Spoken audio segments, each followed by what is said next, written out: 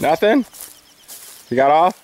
Right over there. Right over there. I think oh. he might have had a snag.